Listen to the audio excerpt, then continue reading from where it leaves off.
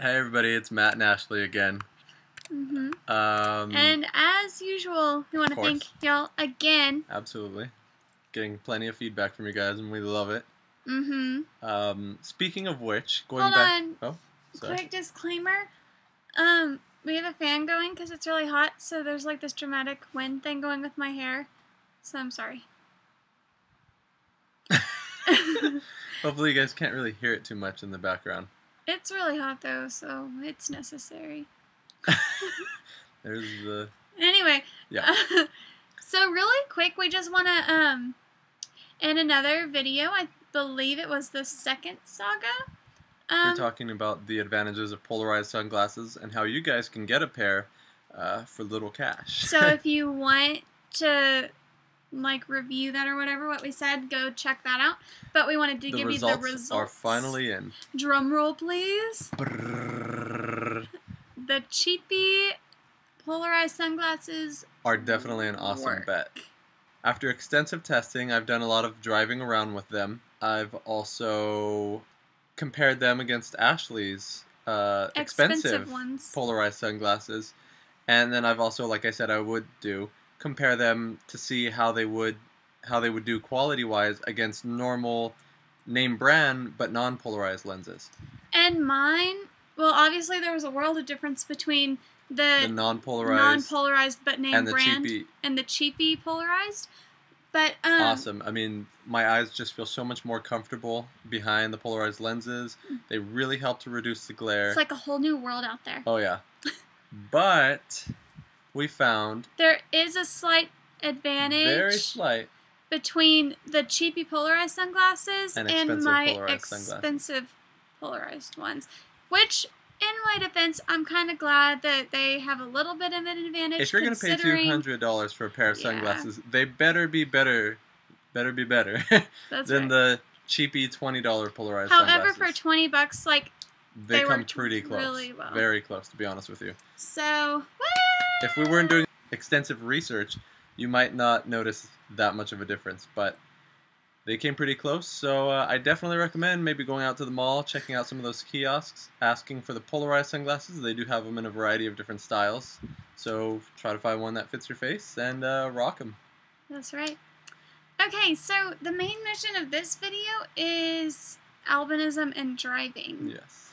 I know that we kind of went a little bit in depth in the first saga, so if you want to refer to that, go for it. But we also wanted to touch on a couple other things, give a few more details, but it's not, we're going to try to make it a little more like short, sweet, to the point. Well, first of all, where's We the bioptic? Here it is right here. These are bioptics, or These one, are bioptics. one style of bioptics. They are making them thinner now. However, they're They not different styles. They're- However, the thinner ones, like on the wire frames, opposed to whatever this is, they aren't as sturdy. However, it is an option if that's what you want. These are kind of goofy, but somehow the frames themselves are kind of growing on me. Like if I were to actually buckle down and get a pair of sunglasses or regular glasses, seeing glasses, I would get a pair of Wayfarers. That's what this style of frame is called, except without the uh, little scope right here. Some regular glasses, maybe a little Clark Kent look. I don't know if I could pull it off. Anyway, so um, so yeah, bioptics are just like the glasses with the telescope attached to them. Um, some bioptics have them in both lenses, but most people prefer to just get it the telescope in one eye, usually the The dominant the eye, dominant Mhm. eye. Um, which happens to be my right eye on this case. and mine is my left eye, but that doesn't They matter. complete each other. Oh yeah. Anyway, so um, first of all, bioptics are not allowed in every state. we got some feedback from different people and they were saying well i know you say it's great if you just really try hard you can drive but unfortunately we can't drive and that is something that we forgot to kind of mention not all 50 states are allowing the bioptics in use with driving so uh, one of the resources that we kind of dug up for you guys If you want to look up the regulations as far as like if bioptics in general are allowed available in in your, your state. state, go to biopticdrivingusa.com and then there's like links for all the states and then when you click on your state it shows the different regulations. however some of you might be saying but ashley i'm out of i'm, I'm, I'm not even part of the usa so i might like to look up you know another sort of driving alternative outside of the US. And then you might check out. Oh, you can go to um I believe it's biopticdriving.org and there they have like a drop down box of like different countries and I assume that you can um, click on your corresponding country and figure out some more rules, regulations, and all that. Um, but um, so, as far as the states that do allow driving, um, and you feel comfortable with, They're usually pretty sim- uh, The- standard in the process. Yeah. Similar. and as long as you feel comfortable with taking like that step to be like, okay, I'm gonna at least give it a try to see if I can drive.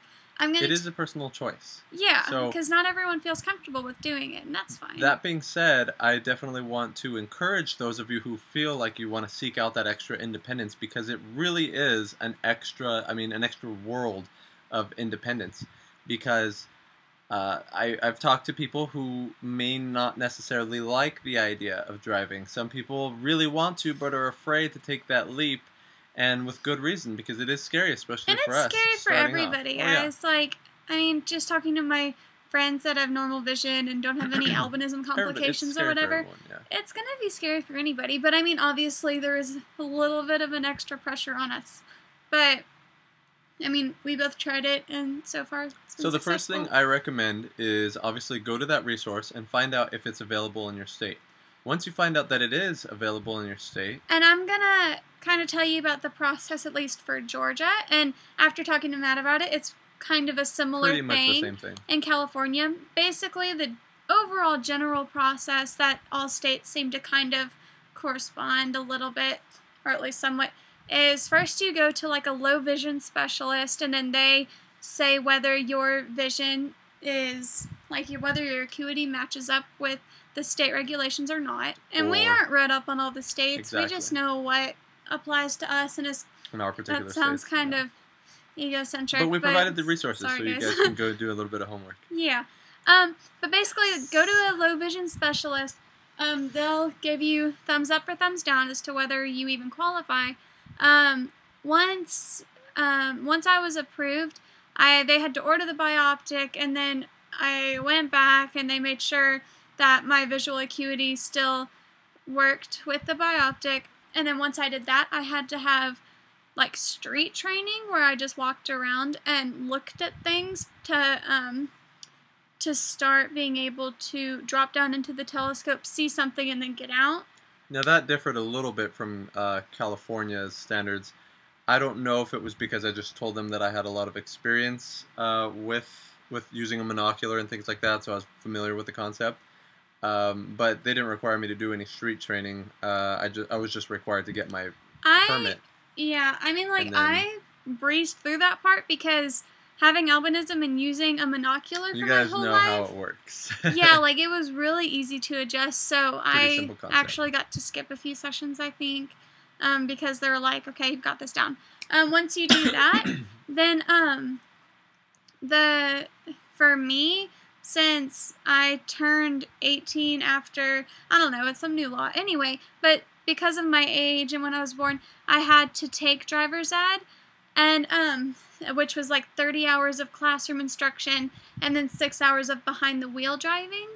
And so I did that. And then while I was in the six hours of behind the wheel driving with another instructor, um, they had like my low vision specialist gave them a checklist of things that they had to cover and that they had to do with me.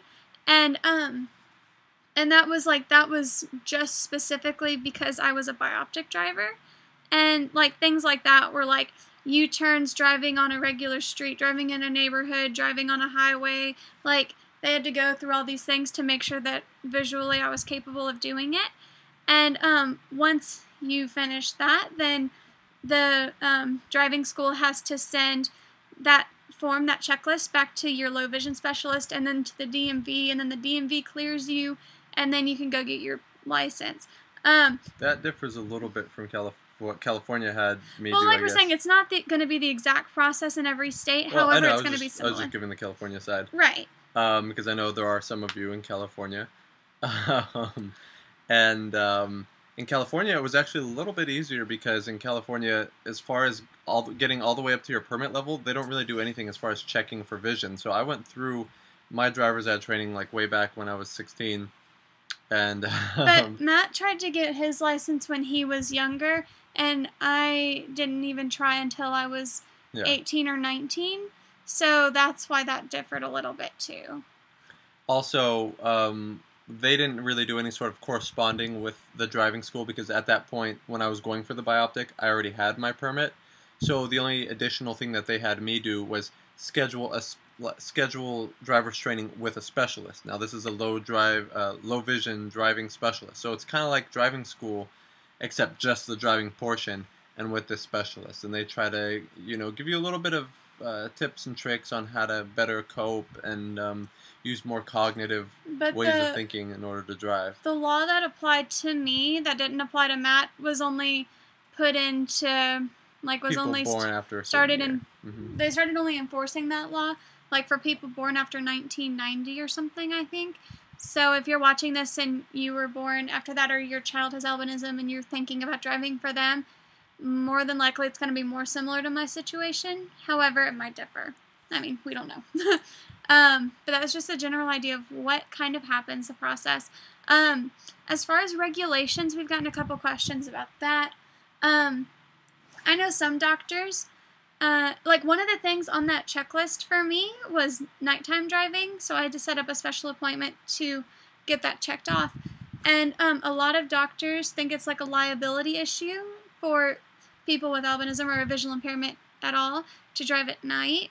Um, for me, I feel like it's more comfortable, and I got checked off on it, so I don't have any regulations. Matt has a like non-restricted license. The, The only, only thing, thing on my license it says on the back is corrective, Corrective lenses, lenses. which doesn't even specify. So, I mean, if you get pulled over and it says corrective lenses, they don't know that you have to be wearing a bioptic. unless they type it in the special computer and it comes up bioptic. We Which don't we know don't that. But as far as I know, it Um, just says corrective lenses. but so that's I mean, so as far as restrictions, we don't really have them unless you want them or your doctor isn't comfortable with that. That sense of independence is, I don't know, it's a, it's a good feeling. Um, and as far as like best and worst times for us to drive, from what um what I've seen from Matt, just the only bad times are like when the like sunrise, sunset, like when the sun is at your eye level and you're driving into it or whatever. Anywhere around eye level is just agonizing. But I Um, think that's bad for anybody, so it's not especially comfortable. us. Um, but like we're not gonna go into what we can and can't see while driving because really that's gonna vary Mhm. for everybody with albinism. If you have specific questions, message us and we can tell you personally. However, like it's really gonna be, you know, like based off of the person. Quick little side note for those of you out there in the community that do drive and have your own cars. I want to, you know, maybe maybe um, for people who are considering driving and looking to get a car and what would be ideal, I think we should start a little comment thing going on and feel free to chime in. Tell us what kind of car you drive, the things that you do and don't like about it, um, advantages that it has, or some advantages that you might think might be good for for drivers like us, and uh, that might help you know potential new car buyers or first time drivers kind of find an ideal car that would work best with our types of con- our situations types of situations Like Matt drives a Mustang and I drive a Bug, so and personally Yeah. from having driven both obviously i like my mustang much better because the extra power and but stopping secretly power he likes mine a lot more. The only other thing I can think of as far as driving, um, that I've been asked about is our depth perception, and people like that just comes along with anyone driving. Like you have to get used to it. No one's used to driving a car when they first start. And I don't think our vision is necessarily to blame for our bad depth perception when we start driving because I think that comes with everyone comes naturally. first starting and like then you get used to it you get to know your car better you know like so i don't think i can Don't let park that start within you know stopping. inches of things just because you learn the parameters of your car. But um all i think that's gonna wrap up this video and if you have more questions more in-depth stuff always feel free to comment message post uh, i mean anything and remember to comment down here, you guys. Share your experiences. We'd all love to hear them. Absolutely. Till next time, you guys. Bye. Bye.